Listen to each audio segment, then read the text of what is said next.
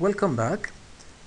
If you have not seen the previous videos, then please watch them first because the information follows from one video to another uh, and things will make sense when you actually watch this one. Now, we mentioned that we have those 10 uh, short line segments, we have their co coordinates and we wanted to find, we wanted to split them into, into two groups of five and each five dashes uh, form this big dashed line, right? We want the coordinates, the coordinates of this dashed line.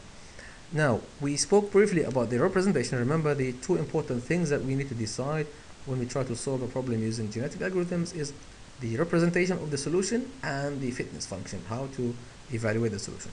Right, so we'll create an array of size 10 to hold the coordinates of the 10 dashes. So dashes, this is the dashes array. These are x1, y1, x2, y2 of each dash. This is the first dash, second dash, third dash, and so on and so forth. After that, we'll create a chromosome matrix. This is our population now, 30 by 10. So it will have 30 candidate solutions. The 30 is the number of, uh, this is the size of the population or the number of candidate solutions. It should be big enough. It could be any size actually, but just big enough to allow some dominant solutions to form, right? And each member of, of, of this matrix is of size 10 as we said because we have 10 dashes it will be a binary array of size 10 and it represents it's a chromosome so it's a possible or a candidate solution right? So it looks like this for example. One possible solution might look like this. And remember we said before that uh, the ones will represent one array so one possible dashed line. The zeros will represent another possible dashed line. And remember these will use the indices here to access the actual coordinates in the dashes array, right? So uh, if we group these ones together, then we end up with dash 1, dash 4, dash 5, dash 7, dash 9 because the coordinates are 1, uh, 4, 5, 7, and 9. Likewise for the zeros, right? That's the other group that form the other line.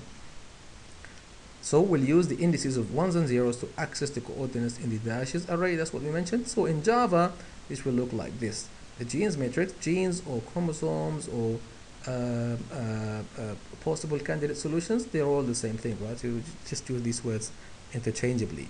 Right, 30 members of 10 line segments each, it'll be just a, a integer matrix, right? Now, so this is the representation or the encoding. This is the first problem. The second problem now is the fitness. How do we evaluate each candidate solution?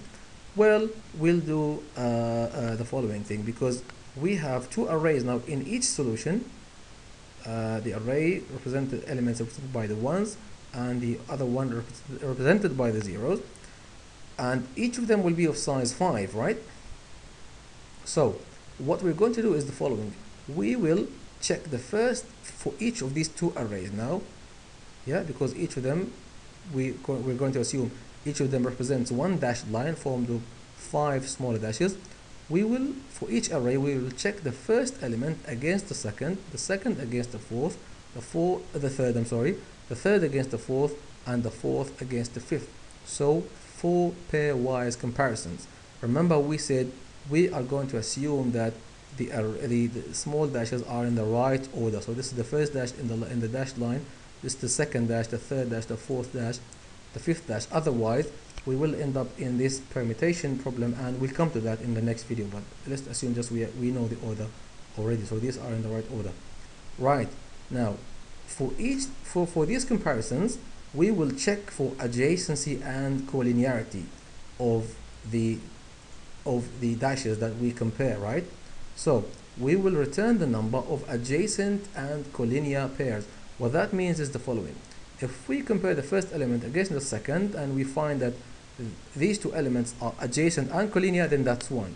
If the second and the third are adjacent and collinear, that's 2.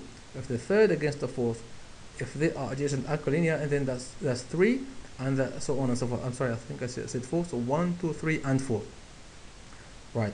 We are going to ignore uh, uh, the concept of dash dash length at the moment, right? So we'll assume all the dashes have the right length. They are short enough to form a dash, right? So we'll only check for adjacency and collinearity. If the number is 4, then these elements do actually form a dashed line segment. If the two arrays return 4, then we have found the solution because each of them now forms a dashed line and that's exactly what we want. if the two are in fact if only one of them returns 4 then the other one will necessarily return 4 because return 4 because we said it um, the the array the dashes are in in the right order.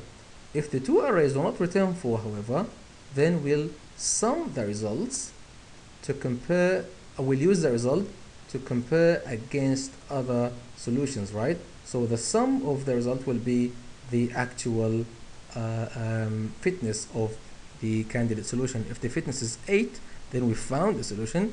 If the fitness is, is less than 8 so if both don't return 4 then we'll just sum them. For example if one returns 3 i.e. it has 3 adjacent and collinear pairs the other one returns 2 it has 2 adjacent and collinear pairs then the sum will be 5 and that will be the fitness or the evaluation of that candidate solution. Another one may be the sum may be for example 6 then the second one is the winner and the previous one is the loser because the loser has the less fitness. I hope it makes sense. In the next video we'll start showing you some java code so everything will actually start to make sense. Thank you very much for watching and i'll see you in my next video